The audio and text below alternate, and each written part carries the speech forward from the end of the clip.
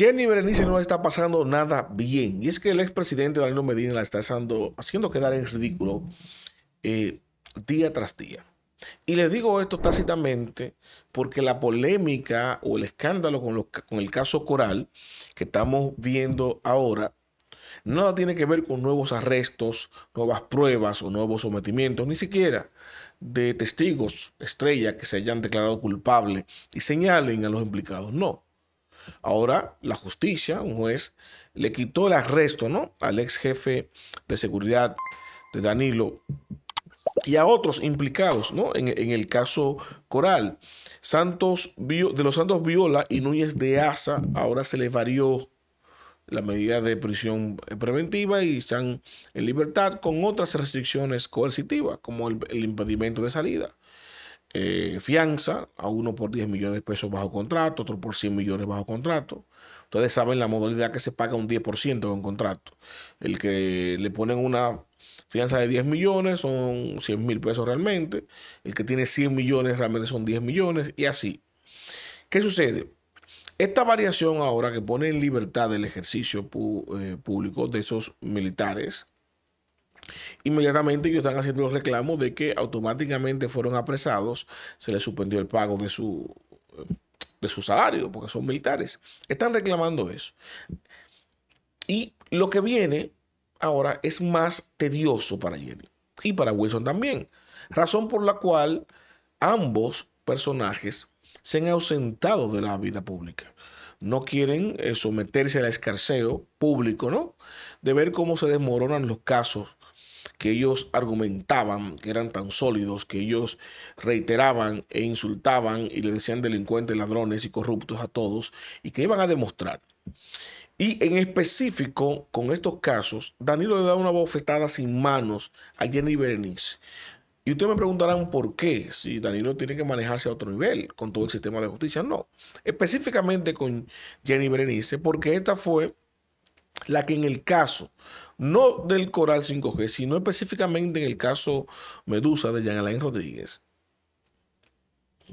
lanzó una acusación directa con el expresidente Danilo Medina dijo, y quiero citarla, ¿no? Para, para entrar en contexto de lo que dijo la magistrada, la fiscal en ese momento, dijo, y, y cito, ¿no? El acusado Jean Alain Rodríguez Sánchez tuvo la gran oportunidad a la que cualquier criminal de cuello blanco quisiera acceder.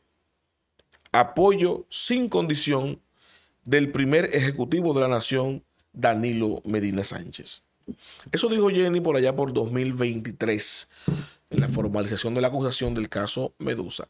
Y a partir de ahí, evidentemente, se la tenía guardada Danilo. Pero el poder se maneja o se mueve de, formas eh, distintas a como se puede mover un funcionario. Y lo que Jenny esperaba con esta posición del Ministerio Público y con llevar estos casos era ganar ese apoyo popular que lo ganó y que fuera suficiente ese prestigio y ese apoyo popular de las masas y ese reconocimiento a nivel nacional para ella convertirse entonces en la procuradora de transición de ese ministerio público más independiente a que aspira el presidente Luis Abinader, según su discurso.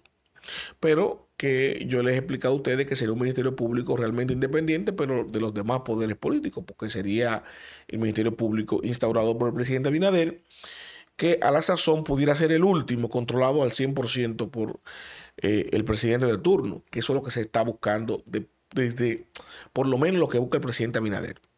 Ahora, ¿qué sucede? Wilson Camacho, que fue eh, un aliado estratégico de Jenny, ¿no?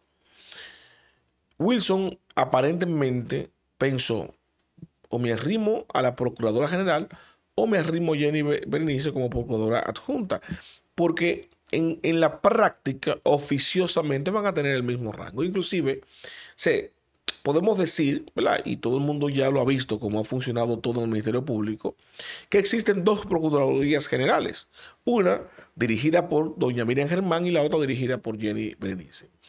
Wilson eligió a Jenny porque pensó, bueno, Jenny sí va a hacer todo lo que Miriam, que es garantista, no va a atreverse a hacer. Jenny va a acusar, Jenny va a someter, Jenny va a meter preso eh, a mucha gente y Jenny va a hablar con la prensa. Eso me conviene a mí porque me va a poner en el ojo público también. Y yo puedo ser un plan B de Jenny o del gobierno, del presidente. Si Jenny se quema mucho en el transcurso y yo me, me, mantengo a lo de ella, se me pega lo positivo y que sea lo negativo, no. Es lo que no auguró que pudiera venir una debacle como la que tiene Jenny. Y si se hubiese arrimado más a doña Miriam que a Jenny, entonces sí él pudiera ser ahora una opción de plan B. Porque la intención de Jenny no es retirarse, la de doña Miriam sí. Entonces estaremos, estamos prácticamente ante la antesala de que posiblemente en el Ministerio Público, en la Procuraduría General de la República, volvamos a ver un procurador ¿no? que salga directamente de las entrañas del partido político en el poder. No por, se lo digo para que se piense, por ejemplo, que podría tenerse a un procurador que va a responder directamente al Poder Ejecutivo, que lo tenemos, responde directamente al Poder Ejecutivo. Doña Miriam es una empleada del presidente Binader y para mí es evidente que despachan los temas juntos. Ahora bien, ante la población, la gente lo que ha eh, percibido, lo que quiere que se continúe en el, en el Ministerio Público, es que se ponga otra gente ahí que no responda directamente a los partidos políticos. Por eso ha salido mucho el nombre de Ricardo Nieves. Ustedes comprenderán. Ahora, eso se dificulta mucho. No creo que el presidente de la República, si se reelige Luis Abinader, se vaya a arriesgar a tener otra Jenny Berenice por cuatro años. No lo creo. Porque mire lo que tuvo que esperar ahora para que Miriam Germán vuelva a tener o tenga real y efectivamente por primera vez el control al 100% de esa Procuraduría General de la República. Entonces, ahora que tiene ese control doña Miriam, es que pueden articular eh, acciones que puedan considerarse consistentes en el tiempo. Sin embargo, esta derrota que está recibiendo Jenny Berenice con eh, el desmoronamiento de todos estos casos de corrupción que ella ha estado llevando a diestra y siniestra, no es más que una demostración más de que no basta con acusar eh, directamente a una persona para que el juicio mediático sea el escarceo o el castigo de esa persona imputada. No, hay que trabajar en base a lo que establece la ley para poder demostrar eso que usted acusa. Y se lo ha demostrado no solamente Danilo Medina con esta bofetada sin mano y dejándola ridícula como lo está haciendo, sino la propia Procuradora General de la República, Miriam Germán que ahora está llevando los casos que ella puede estar controlando, que inició con el de Jean Alain, evidentemente, por la historia que tienen doña Miriam Germán y Jean Alain Rodríguez, con buscar nuevos eh, nuevas evidencias y por eso está apelando a la confesión de los propios imputados que fueron cómplices supuestos de Jean Alain Rodríguez para que estos señalen a Jean Alain y aporten alguna evidencia contundente e irrefutable para lograr una condena de fondo, porque el presidente de la República ya capitalizó todo el, el, show mediático, el circo de los apreciamientos, de los sometimientos, de los allanamientos y tal. Ahora, ¿qué necesita el presidente? Porque la gente puede ser eh, usted puede pensar que la población en general que vea eh, sea tonta o que sea lenta, pero ya se está cuestionando, venga acá presidente, venga acá Ministerio Público, independiente, los queremos presos, pues no era un bulto que los trancaran para que se fueran para su casa, como se está viendo hasta ahora, que están saliendo todos. Ahora la gente está pidiendo sentencias en el juicio de fondo, declaración de culpabilidad y que le canten a los imputados ¿no? una, una sentencia ejemplar de 10, 15, 20 años, lo que les toque, y no que se queden simplemente con el bulto de un apresamiento coercitivo de 6 meses, 18 meses, y luego ya, si te vino me acuerdo, se lavaron las manos y se van para su casa.